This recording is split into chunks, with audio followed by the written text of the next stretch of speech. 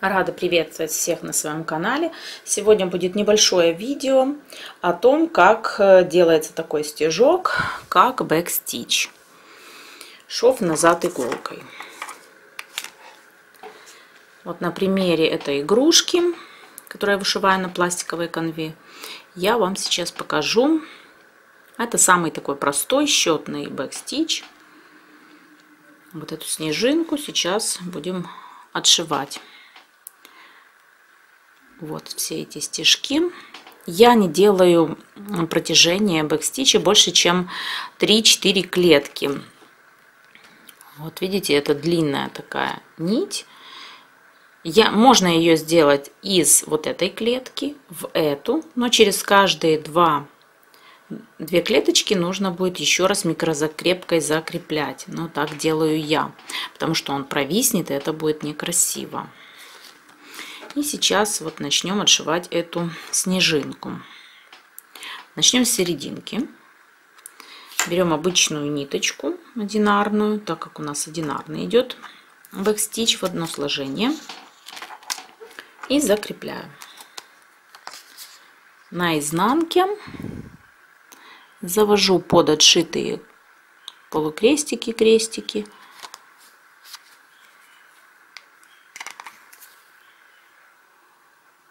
вот так.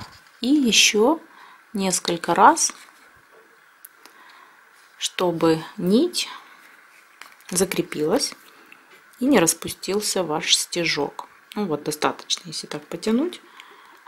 Все крепко держится ниточка. Можно начинать делать отшив. Вот на примере сейчас я вам покажу вот длинный такой стежок на три клеточки, как его отшиваю я.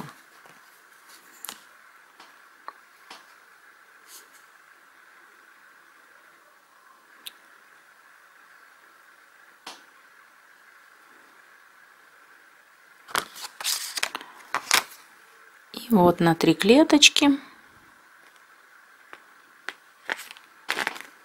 Для того, чтобы он не провисал, его можно закрепить микростежком в этом месте или в этом. Это я вам показываю на примере, если вы будете делать большие протяжки бэкстича.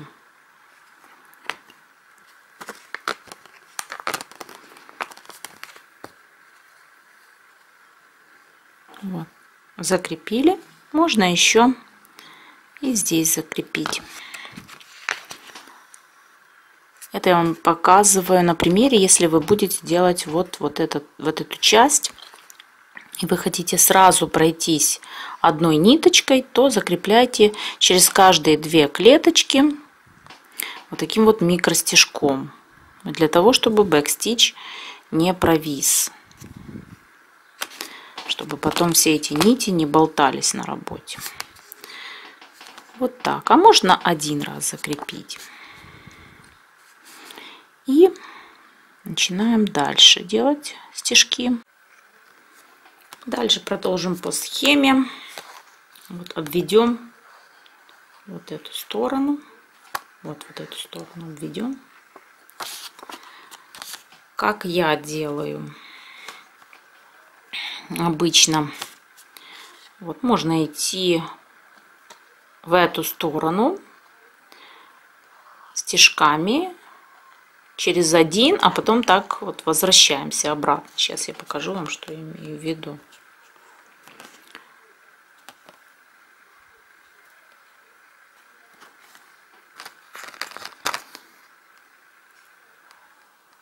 Здесь у нас на три клеточки. Можем закрепить, а можем закреплять, когда будем идти в обратную сторону. Пропускаем. Клеточку. Вот у нас как идет бэкстич. Пропускаем, делаем шов, пропускаем, делаем стежок, пропускаем, делаем стежок, пропускаем, делаем стежок. И возвращаемся обратно, заполняем те места, которые мы не заполнили в прошлый раз.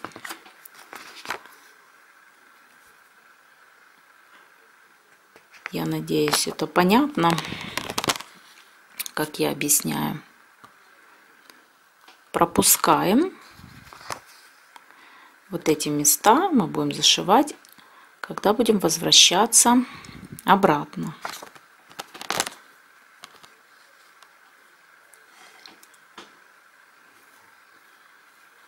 Пропускаем, делаем стежочек пропускаем. И также у нас здесь большой стежок.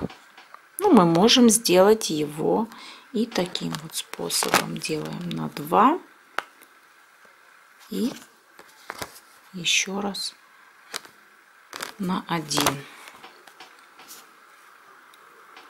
Вы можете, конечно же, делать и на 3, и на 4, и ничего не закреплять, но это уже лично ваше дело. Но у меня backstitch так провисает, и это некрасиво. Потом все эти нити висят на работе. Особенно если вы делаете backstitch до стирки. А у меня потом после стирки обязательно все, весь backstitch провисает. И это очень некрасиво. И вот заполняем мы все те места, которые остались свободные.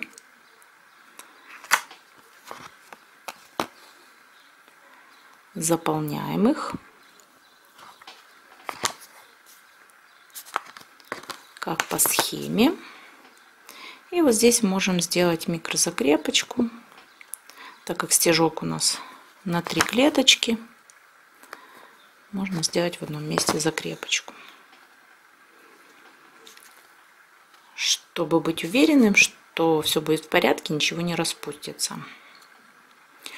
Далее можем с вами сделать вот эту часть, например.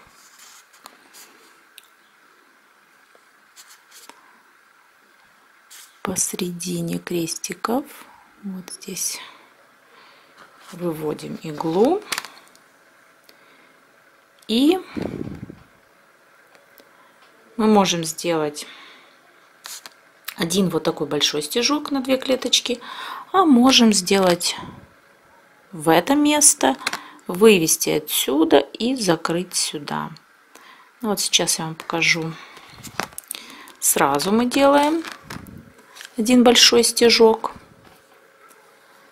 Вот, вы можете при желании его закрепить, потому что, видите, он вот так вот немножечко провисает, не прилегает к работе. Можете его вот так вот закрепить.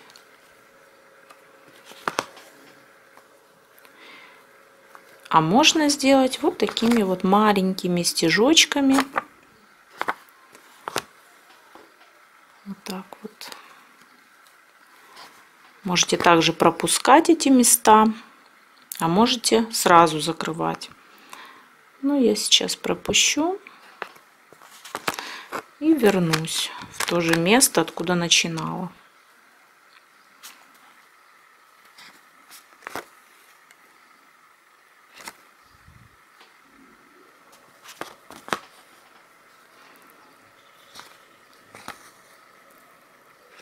И возвращаюсь. Я так люблю делать backstitch.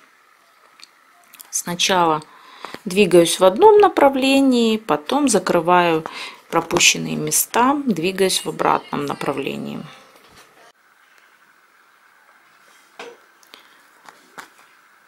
И вот так двигаясь в обратном направлении, у нас получается красивый backstitch. Дальше мы будем выполнять вот этот вот квадратик.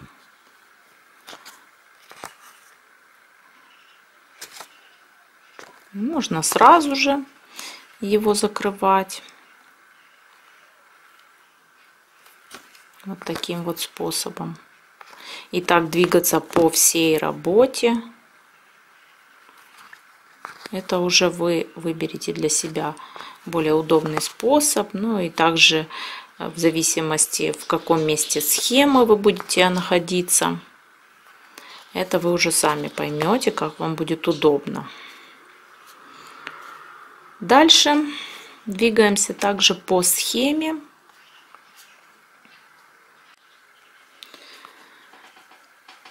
Дальше давайте попробуем вот эту часть отшить.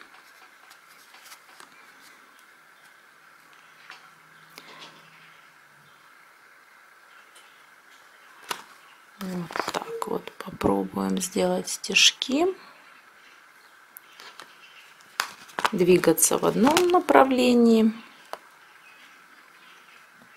И сразу же можем закрывать сразу же это направление. Вот так вот. Двигаясь вверх, сразу будем закрывать все свободные места.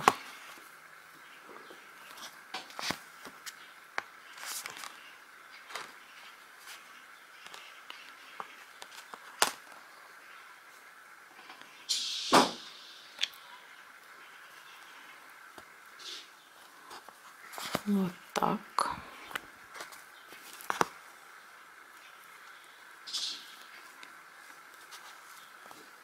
Я надеюсь, вам хорошо видно.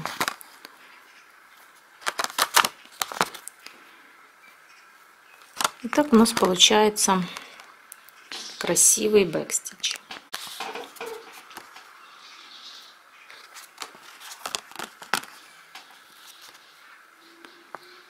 И таким способом мы сразу продвигаясь по работе закрываем все стежки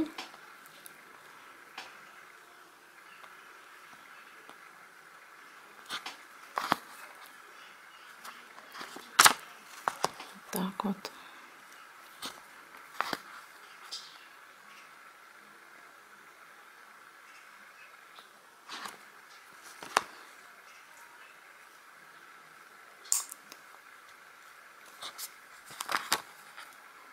Можем вот так вот закреплять, если вам кажется, что в каком-то месте бэкстич может провиснуть.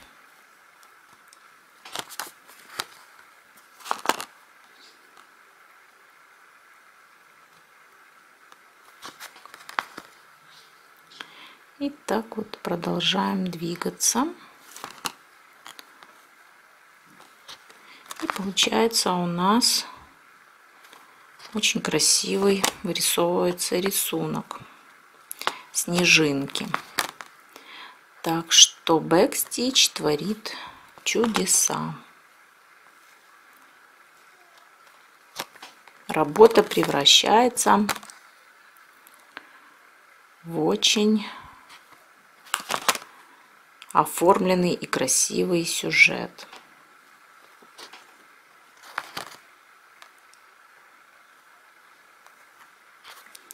Так что вы выбираете для себя уже, как вам более удобно двигаться по схеме или же сразу закрывать бэкстичем все клеточки или двигаться так, как я вам показала. Сначала в одном направлении, потом возвращаясь, закрывать все пропущенные места.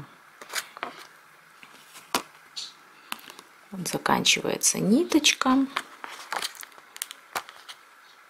И будем закреплять. С обратной стороны.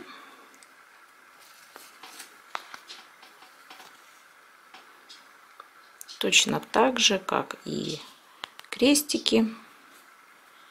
Заводим под отшитые места.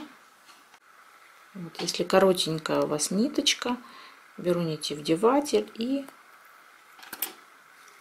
так вот закрепляем.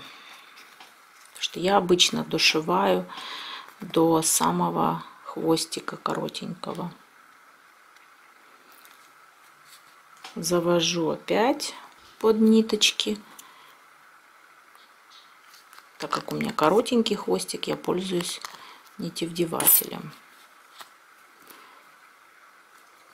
Можно три раза сделать закрепочку для того, чтобы точно быть уверенной, что бэкстич у вас закреплен. Это уже также решаете вы сами и по ситуации смотрите. Вот все. Обрезаем ниточку.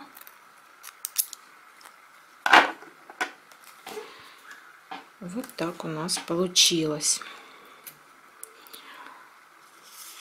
Так что вот так мы можем вот эту чашечку, например, я отшивала, начала вот с этой стороны, прошлась вот так вот через каждые две клеточки в одну сторону, потом вернулась, закрыла пропущенные места.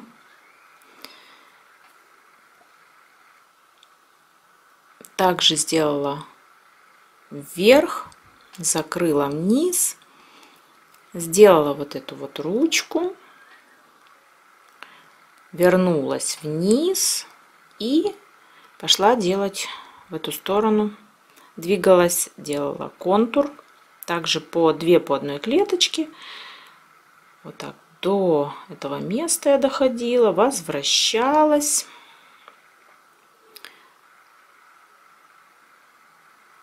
И полностью также сделала вот эту вот часть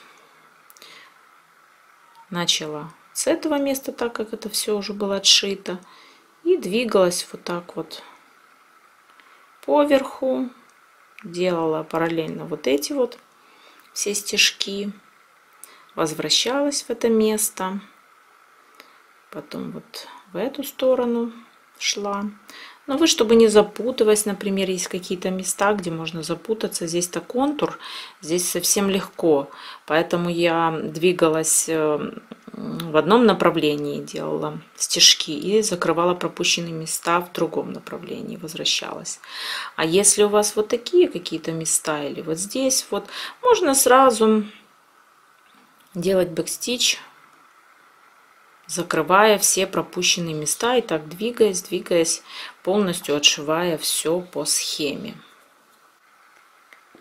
Например, вот здесь также бэкстич было очень легко делать. Также делала этим же методом. Вот шла в одну сторону, двигалась и возвращалась обратно. Здесь, вот в этих местах, можно сразу закрывать. То есть вы должны уже понимать.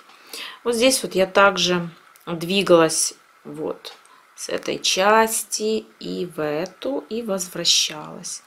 То есть вы для себя сами принимаете решение, как вам удобно. Глазки можно сразу делать его, выполнять этот бэкстич, переходить на носик, полностью закрыть, вот, губы, ротик сделать. Я думаю, что вам понятно. Если какие-то вопросы еще остались по этому шву, задавайте. Если у вас длинные протяжки, я вам уже говорила, вот, например, вот эти все места, можно, конечно же, из вот отсюда проводить в это место одну сплошную нить, но вы должны ее натягивать и закреплять через каждые две клеточки потом. Поэтому а, вы для себя уже решите. Бывают такие работы, где необходимо, например, велосипед. Вам надо сделать длинные такие протяжечки, спицы в колесах, например. И вам было бы неплохо натягивать ниточку вот таким вот способом. Вы сами для себя уже смотрите, как вам будет удобно разместить ее. Вот. Например, вот у вас вот так вы хотите, чтобы у вас выглядел ваш бэкстич. Значит, вы его натягиваете. Вот из одного места вводите, вот, например, сюда. И уже смотрите, куда попадает между клеточками бэкстич. И закрепляете его, вот эта нить, куда попадает между клеточками. И закрепляете микростежками, для того, чтобы эта длинная нить не провисла. И так делаете, если это касается, например, вот колес у велосипеда, это к примеру говорю. И вот таким вот способом, просто у меня сейчас нет такой подходящей работы, чтобы я вам показала. Вот. вы прикладываете нить, видите, как оно у вас будет хорошо лежать. Вот, например, надо вот сюда вколоть и закрепить ее на растяжении двух-трех крестиков закрепить обязательно микростежками, иначе все провиснет, и это будет очень-очень некрасиво. Я надеюсь, что я понятно объяснила. Если же у вас возникают какие-то вопросы, я пересниму это видео и более подробно попытаюсь рассказать, как делать этот стежок. А на этом я заканчиваю свое видео и до скорых встреч на моем канале. Всем пока-пока! Я показала, как э, я именно делаю этот шов. Шов, шов назад иголка. Вот в таких вот обычных наборах для вышивки. Так как э, на самом деле вот этот шов выполняется именно путем того, что вы возвращаете назад иглу. Но для меня это, во-первых, большой расход нитки, если вы постоянно возвращаетесь назад. Ну, вот как видите, вот отсюда у вас выходит ниточка, заводится в эту сторону, выводится, и опять таким вот способом вы все время назад возвращаетесь. Я этого не делаю. Я для себя выбрала более подходящий способ. Не знаю, кто-то может скажет, это неправильно, но я вышиваю так этот шов, поэтому делюсь с вами, мне так удобно, и это получается красиво на работе. Для тех, кому этот метод подходит, можете его повторить. Если же вы хотите полностью следовать инструкции, тогда э, в интернете очень много есть уроков, э, там полностью показан этот шов и в инструкции. То есть необходимо постоянно назад возвращать иглу. Вы прошиваете каких-то там 2-1 э, крестик и возвращаетесь, возвращаетесь, идете вперед, возвращаетесь. А, но мне так неудобно. Я так не люблю, это очень большой а, расход нитки, ну, в общем-то, и мне это некомфортно немножко. В некоторых случаях я выполняю таким способом стежок, но в основном я отшиваю именно так, как я вам только что показала. Надеюсь, э, это будет понятно. Если есть какие-то вопросы, задавайте. А на этом я хочу закончить свое видео.